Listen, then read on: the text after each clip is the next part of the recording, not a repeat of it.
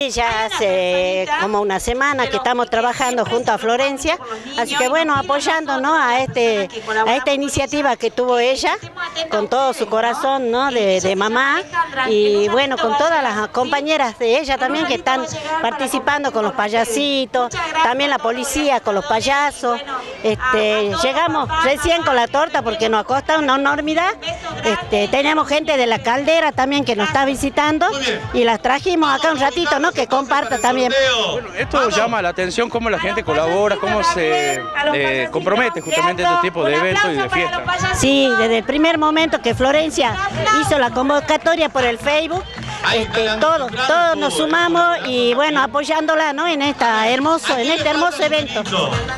Ya estamos hablando, pensando que quizá esto va a ser algo que se va a instalar para el otro año y que todos los años se va a tener que hacer. Todos los años, todos los años de ahora y más, vamos a acompañar y para que cada año se, salga mejor, ¿no?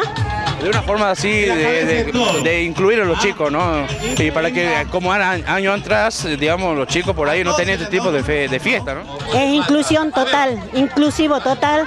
Este año este, el gobierno, bueno, ha puesto, hizo hincapié en la inclusión social y bueno, acá estamos, nosotros hemos tenido el primer encuentro de inclusivo en la provincia, así que bueno, seguimos con esto, ¿no? La- el otro día, no sé si viste, los chicos que vinieron de Jujuy, uniendo las capitales de San Salvador con Salta, también eh, las entregas de sillas, de ruedas, todo, ¿no? Todo el, el- el municipio está para la gente este, común, ¿no? Que lo necesita. Bueno, muchas gracias. Muchas gracias a ustedes.